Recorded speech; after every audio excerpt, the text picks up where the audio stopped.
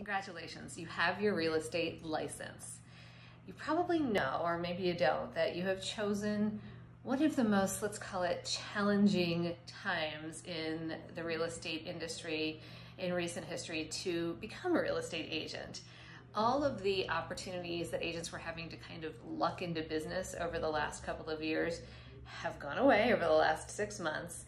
And now you need to be in a place that you can find and learn the best training and strategies to get you into real success. One of the best things that I did when I started getting into real estate and I got into a, into real estate in a very similar kind of market. We had just come off a big boom and it had cooled. Is that I found a mentor to work with.